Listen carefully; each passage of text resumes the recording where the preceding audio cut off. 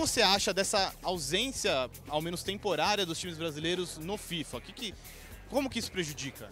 Ah, prejudica principalmente os brasileiros, que todo mundo, todo brasileiro gosta de jogar, jogar FIFA e, e gosta de, tipo, mesmo igual eu que jogo na Europa, ah, vou pegar São Paulo, vou pegar o Inter, vou pegar, vamos jogar os, é, o time que torce contra o time que torce do outro. Então é, a gente gosta disso aí, então é, por ser teoricamente mais fraco que, o, que os europeus, é, às vezes é mais legal jogar com esses aí, então a gente, eu sempre gostei de jogar com, com os brasileiros também.